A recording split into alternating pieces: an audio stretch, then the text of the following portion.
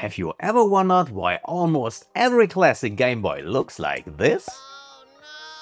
Turns out it's a really common problem that affects all of them sooner or later. In this episode, we're going to look into what exactly happens to our beloved Game Boys and why every one of them is affected. We will also see if there's an easy fix to get them up and running again. But is it possible to prevent it from happening? To answer this, we need to have a little look in the history of early electronics. Let's have a look, shall we? The late 80s and early 90s were a golden era for electronics. It was a time of rapid innovation, with gadgets becoming a part of everyday life. But as groundbreaking as these devices were, they came with their own sets of challenges, many of which wouldn't become apparent until decades later. As gadgets like Game Boys, music players and computers from back in the day get older, they began to run into problems. A common issue among these devices is with the screen, it doesn't look as good as it once did. And it's not just Game Boys. Many old gadgets share this problem. All of these phenomenal products and especially the Game Boy share a story. They were all about fun and new adventures back in the day. Now we see they are getting old, just like anything else. But that makes us wonder, can we fix them and bring back the fun? I think we can fix it. But stopping these problems from happening is nearly impossible, because of the technology back in the day. The way these old Game Boys were made and the tech used just weren't as advanced as we have today. Over time, certain parts start to fail. What parts I'm talking about? Well, more on that later. I found this Game Boy on eBay for $120. Why did I choose this one? Because it's a perfect example of what I've been talking about. Let's see what I received. It seems well packaged so far, and as you can see, the auction also included the original Game Boy packaging, which is quite nice. The noises I'm making during the unboxing are because of the nasty cigarette smell hitting my poor nose. I hope it fades away after some time. The package looks okay-ish, considering the fact that this item is more than 30 years old. That's probably much older than most of my viewers. What about you? What were you doing in 1993? Let me know in the comments. It's my Game Boy, you want to try? Oh! Here we have it, the Game Boy with an original Tetris game cartridge. The screen protector came off, but it is included, which is always a welcome find. That's it, the box is empty, no manual or anything else. I would have loved to see some old paperwork, like commercials or something else. Here's where things get interesting. I've decided to take on a challenge with this Game Boy. Can I fix it in under 10 minutes using just one tool? And you might be wondering which tool. Well, let's find out and see if I can get it done. Here we have the Game Boy and the screen protector. It looks a bit beat up and has some scratches. We will see later if we can find a good solution for dealing with it. As you can see, the Game Boy is nearly open already. After unboxing, the screws that were supposed to be in the holes just fell out. That's not all, two of the four screws are just missing. It's a shame, especially considering the price and of course there was no mention of this in the auction. But I guess that's the curse of eBay, right? At least the battery cover was included and it's not damaged. Let's turn it on to see exactly what the issue with the screen is and enjoy the nostalgic Nintendo tune. this brings back good old memories. Hey, thanks for the memories. You are welcome. I adjusted the contrast wheel to darken the screen and now we can clearly see the missing lines. But enough talking, let's find out if taking on this challenge was a good idea, especially since I've never worked on an original DMG Game Boy before. In case you're wondering what DMG stands for, like I did, it's quite simple, dot matrix game. Just doing a bit of stretching and now it's time to set the timer. 10 minutes. The clock is ticking and the first step is to open it up. Fortunately in this case I can skip some screws. To unscrew the remaining two I'm using a tri-wing bit.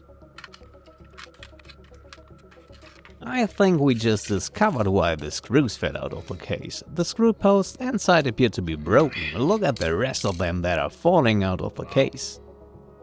Nice. We can now separate the case halves, but we can't open it completely just yet, because the screen cable is connecting both halves and need to be disconnected first. To do this, we will gently pull it out of the connector from both sides. It's a friction-based connector, so nothing needs to be unlocked first.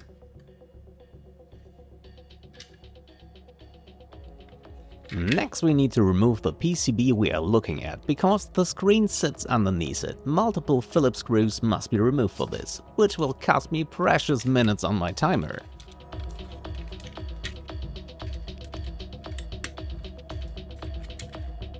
The screws are out, now I need to get the PCB out. It looks like these plastic clips are holding it down. I will try to unlock them with the flat side of a spatula.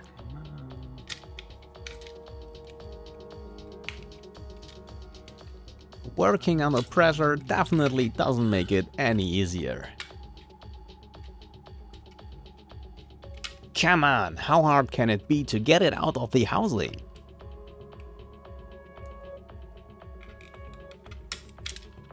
I've already lost 3 minutes and I'm still not at the point of interest.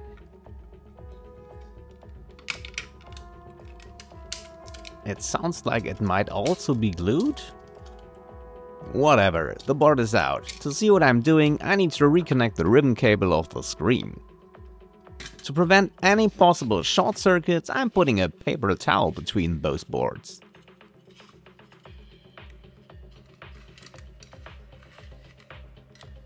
Come on, get this cable inside the connector.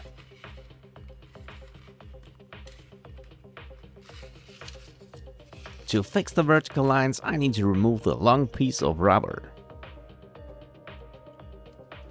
To loosen the old glue underneath, I will heat it up with the help of my hot air soldering station on the low setting. As you can see, I can relatively safely put my hand there without getting burned.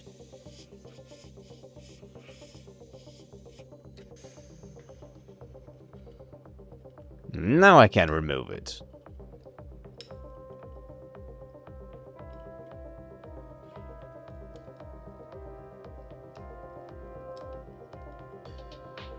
Yeah, unfortunately the glue ripped anyway underneath. I guess heating it up was totally unnecessary. Uh, feels like I'm making bad decisions under pressure. That is true. Under this foil are the solder connections for the screen, which is exactly the culprit of our fault. Running out. Over time, the old soul has lost its connection. My challenge now is to reflow these connections, which brings us to the mysterious tool. You might have guessed it. We are going to use a soldering iron for this job. It's that simple. I will set it to around 240 degrees C, because back in the era this Game Boy was made, leaded solder was used and it has a much lower melting point than the lead-free solder used today due to our regulations. It's crucial that the tip of the iron is clean for this operation to avoid damaging the foil. To reflow the connections I need to apply light pressure on the foil and heat it up properly. We will see the image on the screen changing with the lines going off and on. The tricky part is now to heat them, then wait a moment to let them cool down, hoping that the connection solidifies afterward. You might have noticed that after removing the rubber strip, lines also appeared on the right side of the screen. I think this is also an effect of the bad solder connections, which means I now have double the work to get both sides fixed. Hooray!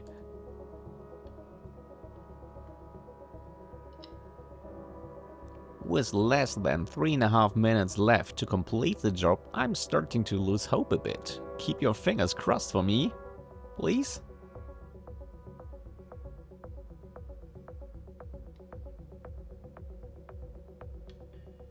But you can clearly see that the approach is working very well. It's just a trial and error process, figuring out how often and how long the soldering iron needs to heat up a specific area, which make it so hard to speed up. I have to admit, I was hoping it wouldn't take this long, but since you are already here, would you mind giving this video a like? It would help me reach more people who might enjoy watching me do idiotic stuff. Thank you.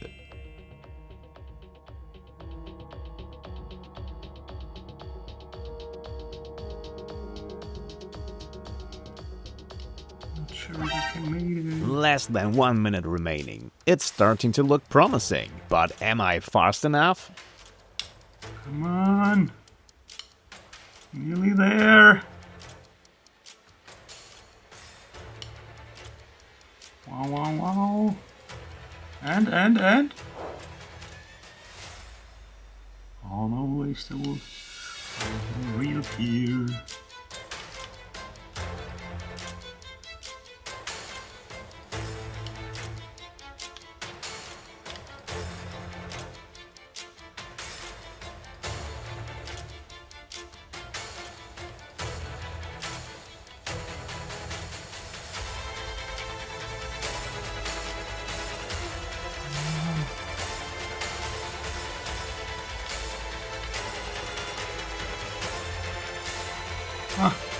Seconds. Oh. No. That was close, but unfortunately I was too slow. Now let's change the mood and go for a smooth and stress-free repair. Grab your favorite drink and don't go anywhere. Let's finish fixing this Game Boy together. It took me an additional 4 minutes to finish the job, but now it's done. Let's put Tetris in and see if everything looks fine.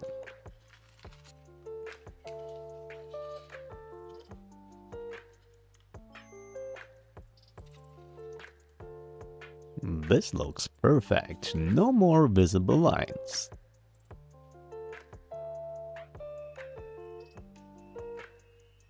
Let's check if fiddling with the foil brings back the lines. If so, I will need to grab my soldering iron again. But it looks like my additional 3 minutes of reflowing paid off. The lines won't reappear, these are great news. Let's turn it off and remove the batteries to see if we can put it back together and find a solution for the screen protector that fell off.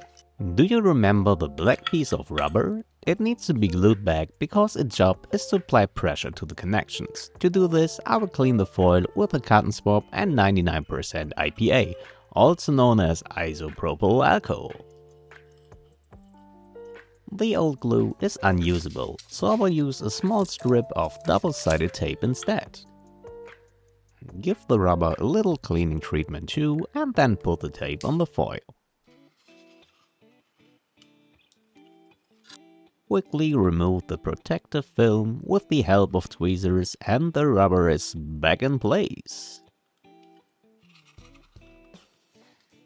I will also give the screen a little clean. I'm using a screen cleaner and the microfiber cloth that came with it to make it as shiny as new.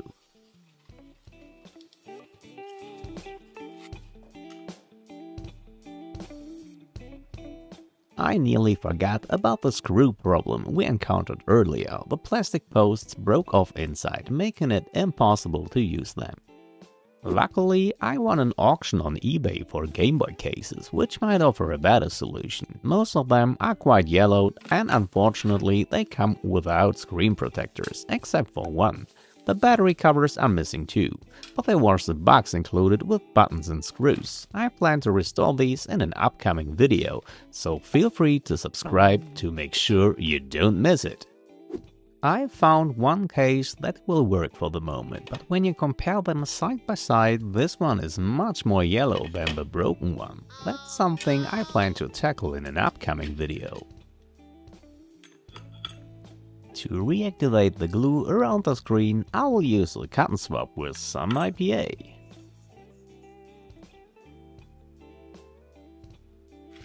I will grab a wet wipe and clean the buttons.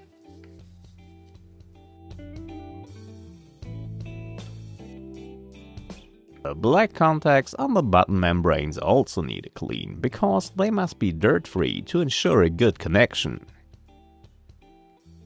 Next on our list is putting the PCB back inside the case, which is straightforward. Just make sure not to put a screw in this particular hole, or you could damage the screen. Before we get the ribbon cable back into its place, let's try to improve its connection as much as possible. As always, I use a cotton swab soaked in IPA, but additionally we will use a pen that functions like an eraser. With the tip of it, it's perfect for such jobs. I move the pen over the contacts and this will polish them and remove any oxidation and dirt. That's why this kind of pen is also a lifesaver for cleaning game cartridge contacts or similar cases. Then again, a little cleanup with some IPA and we are good to go. You can clearly see that the contacts have been polished. Nice, it starts to look like a complete Game Boy. I put the four screws back into the device and it makes a solid impression even though two screws were missing. I tried to remove the yellow old glue with IPA for a flush fit of the screen protector, but unfortunately this didn't do much. Warming it up a bit with the low setting on my hot air soldering station was another approach I took, but unfortunately it wasn't effective either. So I decided to leave it as is, give the screen and the screen protector themselves one last clean, apply some double-sided tape, and then put it on. It's not perfect, but I will tackle these problems including getting rid of the scratches in the restoration video of the Game Boy shells. Our Game Boy is back in action and the lines are gone. We still have the yellowed case, but this is another story. This journey wasn't just about fixing a screen. It was about bringing back a piece of history. Do you really want more? Okay, then watch this video. And as always, Happy tinkering!